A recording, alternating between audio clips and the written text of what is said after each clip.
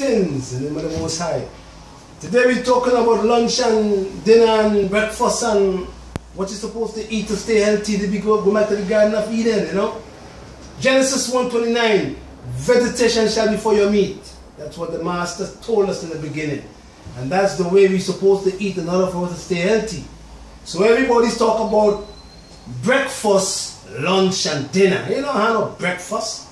You know, lunch and dinner you're supposed to eat once per day. One time per day you're supposed to eat in order for you to keep your organs healthy.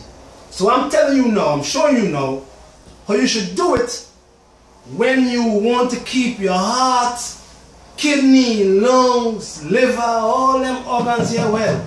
And if you want to have fast, trying the time making them food move from the stomach to your intestinal tract at the exact time. That's the key in staying healthy.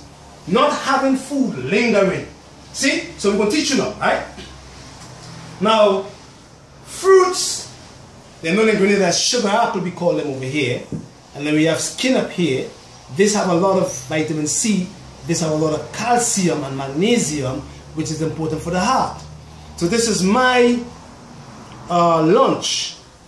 You know what I mean? From 11 o'clock in the morning, and I will eat that till 12 o'clock. And this takes at least half an hour to move from here to here. And I want to mention something about these fruits. Fruits are cooling foods and should be eaten when the temperature is hot. But fruits should only be 20% of your diet because fruits help you to eliminate. And if you are eliminating too much of your vitamins and minerals because of too much fruit intake, you are going to become malabsorbed. All right, so fruits should be 20% of your diet. Proteins should be 20% of your diet. Don't forget that. These here now, this is my lunch now. See, I'm going to eat my lunch. This is my pumpkin. This is callaloo. I love I love onion like crazy. I love to I used to love onions. And I, I love garlic. I'm say this, but garlic, garlic is the king. Trust me. I don't care what they say about garlic. Garlic is a masterpiece that burns anything away. Garlic. Then you have some green peppers, lettuce, and all the other greens in here. And the, the beautiful thing about eating right is because once you eat foods that will move quick, your organs don't become lazy and bloated like these organs here. Once you blow them up with all these foods. So for me now, look at what I'm eating for my lunch. So these foods here are 80% water. 80% water. So they move quick. Plus they have lots of minerals and vitamins. So they feed my tissues, my cell, my glands, and my organs. So I don't get sick that fast. Even though I get sick, it don't last long on me because these are the foods we're supposed to eat to help us to move waste quick. Now, you will have you having a meal today of let me see. The average Grenadian will eat now, this time of the day, and they have rice and peas, yam, tanya, plantain, gravy, stewed chicken or stewed fish, with all these other stuff in there, and if not even 5% of these foods here, that's acid. So then when they go to bed at night, they have all their foods sitting in their intestines and in the stomach and having them causing havoc to the organ system, causing havoc to the kidneys and to the glands and to the nerves and to the eyes and to the heart. So long term, eating that way for 40 years, you're going to get sick.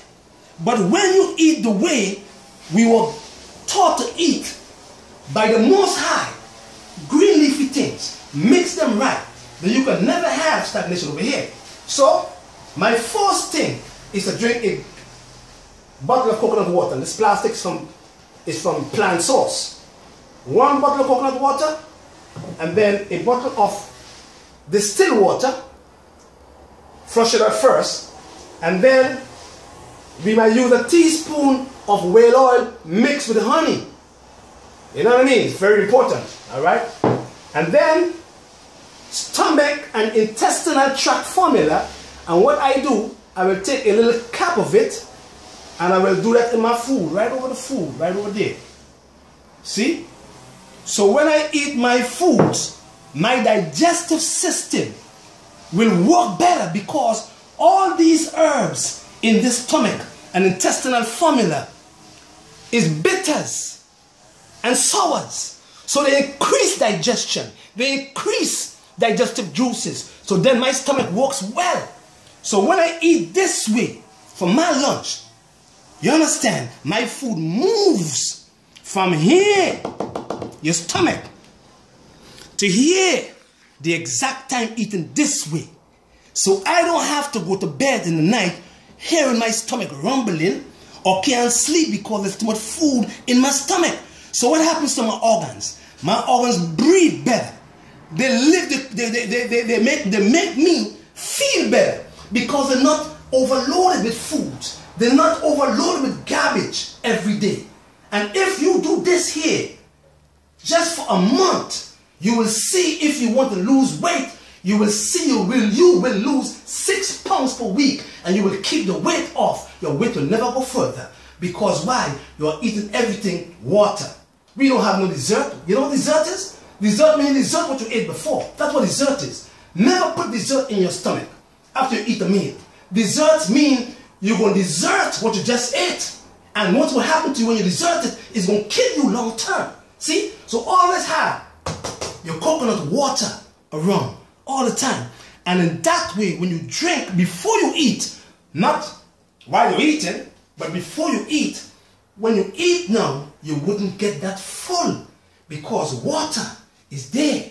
And don't forget to always put your bitters in your foods so that it will help digestion. So this diet here will keep my pancreatic secretion in, an, in a pH of 8.0, 8.3 and I will never ever get diabetes eating this way. I will never ever get pancreatic cancer eating this way because these foods are, have live enzymes that feeds the exocrine part of my pancreas to keep it producing enzymes enough for me to break down all my foods. But when you eat your stewed chicken with all your starches, you create a havoc or an environment for diabetes and pancreatic cancer.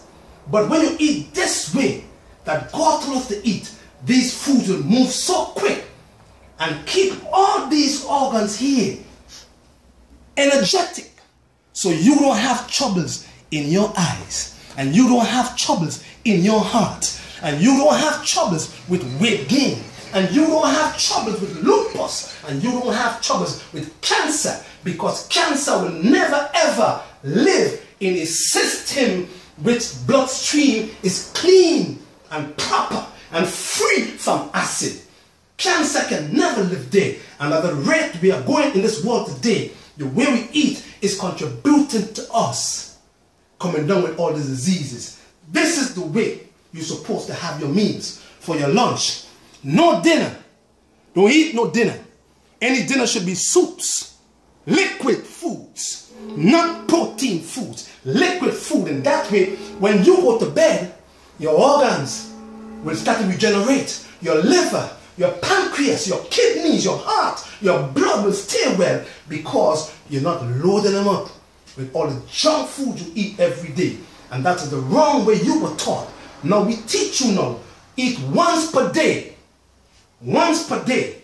But eat the right way. And then you will see how happy your organs going to feel. And you're going to feel healthy. And you're going to live a long, productive life. Because a productive, a healthy nation is a productive nation. A sick nation can never ever be a productive nation. All the cures are found right here in nature. So give Jehovah God the glory every single day. Because he taught us how to eat. You go to church every, every Sunday. You go into your Bible. You read how God tells you to eat. But you don't eat that way. And when you get sick, you run into your same Bible. And God tell you what herbs to use. But you run to the doctor to get his chemicals. So who you believe in? You believe in the, in the Most High or you believe in the man? This is where you have to go to learn to eat the food right to keep you well. That's the key in keeping the organs well and preventing diseases. Give, have a nice day and give Jehovah God all the glory because he put all the cures that are found right here in nature. Give him the glory. Don't forget that.